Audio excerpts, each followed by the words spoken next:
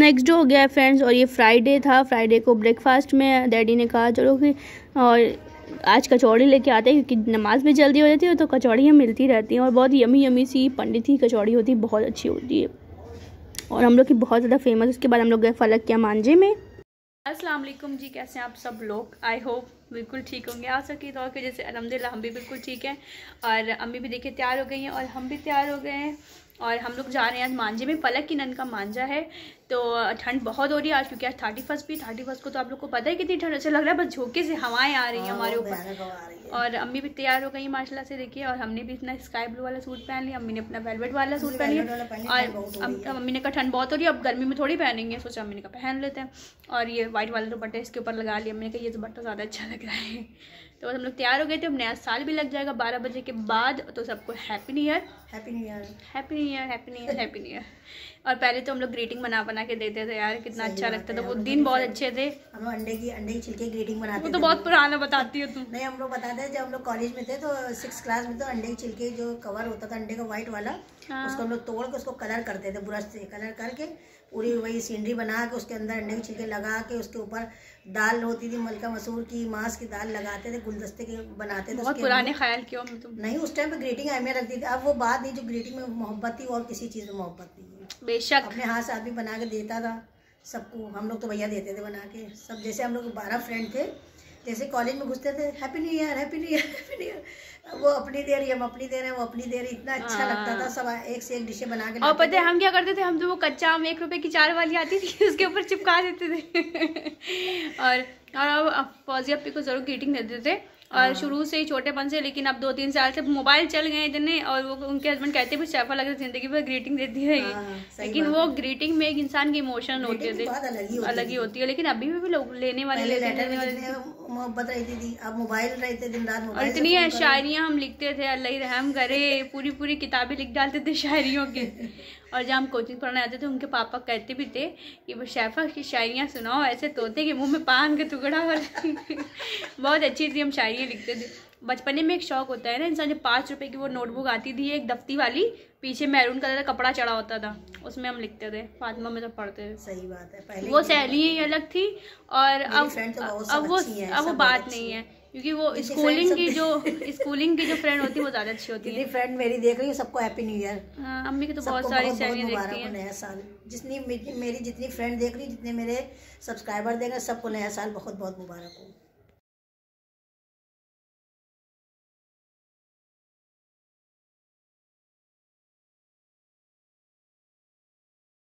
और यहाँ पे फलक बैठी है तैयार व्यार होके अपनी नन के मांझे के लिए। क्योंकि उसकी शादी के बाद पहली पहली इवेंट थी मतलब उसके घर में पहला फ़ंक्शन था तो इसलिए।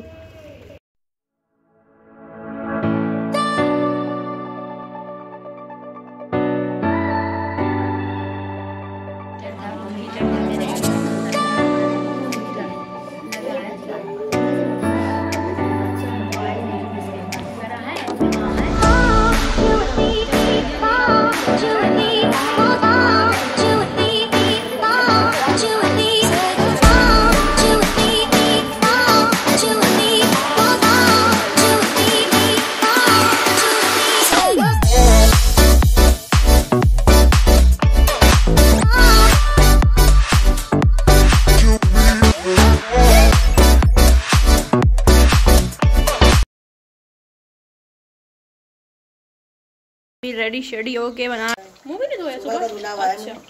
आज अम्मी बना रही है। अल्लाह ने भेजा मतलब कि भेजा। जिसमें आप लोग मगज कहते हैं। मगज बना रही मगज। डैडी को मेरे इस टाइप का शोरबे वाला ज़्यादा पसंद है। ज़्यादा पसंद आता है। असलम जी कैसे आप सब लोग? तो आज है संडे तो आज हमने सोचा थोड़ा सा ब्लॉग बना लेते हैं। और अब जो है ठंड एक हफ़्ते बाद फ्रेंड्स धूप निकली क्योंकि धूप निकलने में बहुत ज़्यादा दिक्कत थी। और बहुत से लोग मेरी बीडी मार्केट वाले दुआ भी मांगे थे कि अल्लाह पाक धूप ना निकले, हम लोग की दुकानदारी दुकानदारी हो जाए। और अब आज धूप निकल आई क्योंकि सबको धूप की ज़रूरत होती है और हमारे यहाँ भी दो तीन कपड़े हाँ सबको सुनता भी अल्लाह पाक, सबको, सबकी झोली ही बढ़ता है, उसके बाद धूप भी निकल आई और हम लोग को भी धूप की ज़रूरत है क्योंकि कपड़े पर इंसान फैलाता है। तो हम लोग भी कपड़े वपड़े ड्रायर में सुखा सुखा के उसके बाद छत पर डाल देते हैं क्योंकि इतना ड्रायर में नहीं सूख पाते जितना छत पर सूख जाता है, क्योंकि आसमान की धूप से और घर की धूप से बहुत फ़र्क होता है घर की हवा से। तो बस आज था संडे और आज हमने ब्रेकफास्ट में खाई थी बिरयानी यमी यमी सी पाई की। और उसके बाद अम्मी अम्मी की खांसी आई तो अम्मी ने कहा अंडे उबाल दो तो अम्मी को अंडा उबाल दिया था। फिर हम लोग ने चाय पिया था। फिर उसके बाद अम्मी ने कहा, आज बाद का फ़ोन आता है संडे को। तो उसके बाद अम्मी ने कहा, चलो, अभी साढ़े थोड़ी देर बाद, मुझे सात भाई से बात भी हो गई थी और माशा सब खैरियत से। और अम्मी अब इस टाइम में खाना बना, क्योंकि डैडी नमाज़ पढ़ के आ रहे होंगे तो खाना भी खाना है, रोटी, चावल सब पक गया था।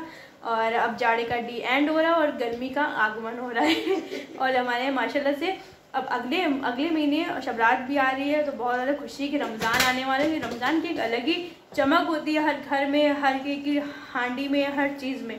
क्योंकि इतना बरकतों वाला महीना होता है, माशाल्लाह से अल्लाह सबके नसीब में रमज़ान दे। आमीन आमीन आमीन। क्या हो रहा है? धनिया डाल रही बस धनिया डाली है और दो मिनट में भेजे भेजा जो है वो रेडी हो जाता है और डैडी को ये शोरबे वाला भेजा बहुत खाना पसंद है क्योंकि जो मेरे दादा अबू थे डैडी अपने घर में भी दादी अम्मा से ऐसे ही बनवाते थे। मतलब खाने के बहुत शौकीन है ना खानदानी मेरे अब्बा गोश वोश के। तो हमें भी ये सब चीज़ों की बहुत शौकीन है। मेरे भाई लोग ये सब चीज़ें नहीं खाते, हम ज़्यादा ये सब खा लेते कचर पचर चीज़ें। तो बस अम्मी बना रही हैं और हमने अपना थोड़ा सा निकाल के रख दिया था। हमने कहा हम बनाएँगे। वो मक्खन वाला भेजा जो कि भूंज के आमलेट की तरह नहीं बनता है। हमें वैसे पसंद हम तो चलो हम कल दोपहर अपने लिए वैसे बना लेंगे और डैडी का शोरबा है लेकिन इसमें से भी खा लेते हैं हमें अच्छा लगता है। तो बस अम्मी का सारा काम कंप्लीट हो गया है अब अम्मी चलती है नीचे नमाज़ पढ़ेंगे अम्मी अम्मी नमाज़ पढ़ेंगे उसके बाद हम खाना खाएँगे और आपको धूप भी चल के दिखा देते हैं कि धूप कैसी आ रही है। ये देखिए आलू और प्याज। मेरे घर वालों ने जो है वो आलू प्याज इकट्ठा कर लिए थे, क्यों?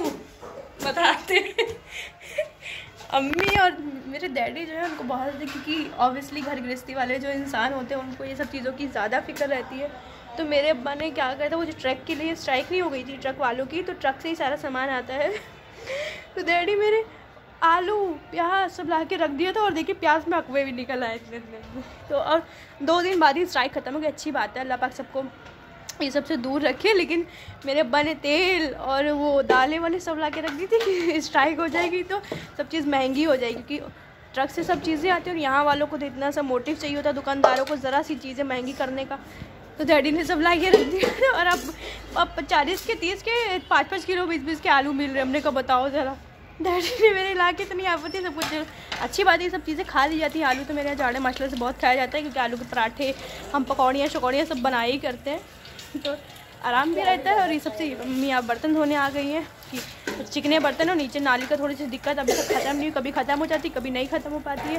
अब इंशाल्लाह जब पुताई होगी तो नाली बाहर की तरफ़ करवा देंगे तो ज़्यादा सही रहेगा। बर्तन धो रही हैं। यहाँ से नीचे डायरेक्ट निकल भी जाता है, कोई मसला नहीं रहता। और यहाँ सैस लोग के कपड़े भी, चाची के छत पे धूप आती नहीं है तो चाची ने कहा यहाँ पे कपड़े फैला दे तो इन लोग के भी कपड़े फैले हुए हैं।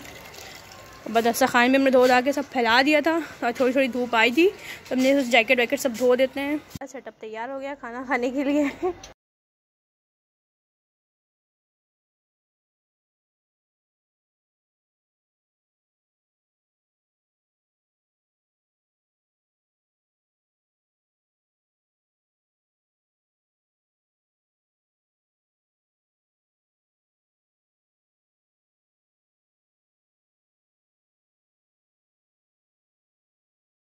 खाना खाते हैं उसके बाद आप लोग से मिलते हैं क्योंकि धूप में खाना खाने का मज़ा ही अलग है। जी। बिस्तर में क्योंकि बहुत ज़्यादा ठंड हो रही है और मेरी अम्मी हमें कुछ काम करने नहीं देती इतनी ठंड में। हम्म। तो एक साल और आराम ये कर ले अगले तो, साल तो जाके कुछ झाड़ू बर्तन करना इसी साल। है?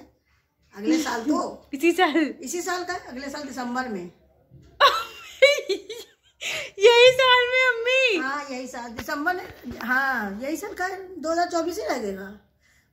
हाँ, साल बारह महीने होते हैं। हाँ, इसी साल हाँ वही हम सोच जनवरी समझे जनवरी में होगी। नो वे चलो अल्लाह मालिक जब भी इंशाल्लाह अल्लाह आप सब दुआ करिए इंशाल्लाह। दोनों बच्चों की शादी अच्छे से हो जाएगी। Oh बहुत पुरानी शाल रखी थी निकाल के उड़ा है।